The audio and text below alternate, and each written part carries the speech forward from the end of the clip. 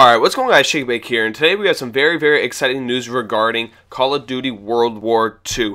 And this content kind of goes with Prestiges, number one, which is pretty damn exciting for me. If you guys like grinding up, that's very exciting. Number two, talk about multiplayer campaign, zombies, and possibly DLC content already before the game was even shown. It's only was shown in a week, so it's kind of exciting that we're getting DLC content. Normally don't release it this early, but uh, let's start off with the most exciting. Let's start off with prestiges. So recently, as you guys can see on the screen here, some guy named JB Fish 123 tweeted to Michael Condrey, "How excited are you for us to see multiplayer?" And it happens enough that Michael Condrey replies by saying 55 over 10 and he just didn't choose those numbers randomly. We all know for the past few years, for a lot of years now, you if you get to level 55, you have the ability to prestige in any game. And he didn't just put that there just, you know, to put it there to show how excited he is. And he did slash 10.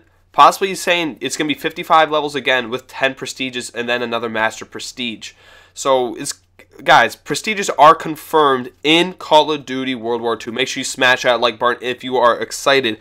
Um, so 55 levels, that's normal, that's basic. We expected that, and 10 prestiges as well. So yeah, that's happy. Let's uh, let's keep that going. Let's keep the train rolling. Number two, as you guys see also on the screen here, it says Call of Duty World War II Sledgehammer Games journey back to the franchise's roots. And it says Sledgehammer's Games will be hosting a panel at the E3 Coliseum event on June 14th on 2 p.m. Pacific time. And it says Call of Duty World War II franchise returns to its roots.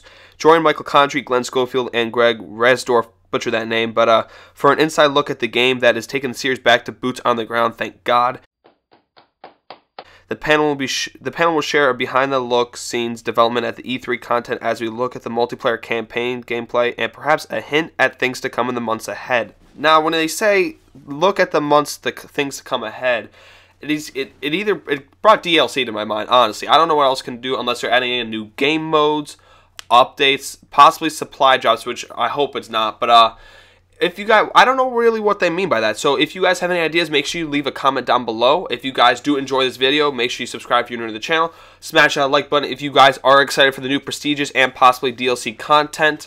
And if you're excited for World War II, it's only a week away. I will bring you guys a crap ton of videos on the new content when it finally drops, gameplays. I won't get to play the game, but I'll show you some gameplay. I know I'll get copyrighted, but uh, you guys need to see it. But I'll see you guys later. Peace out. Everything changes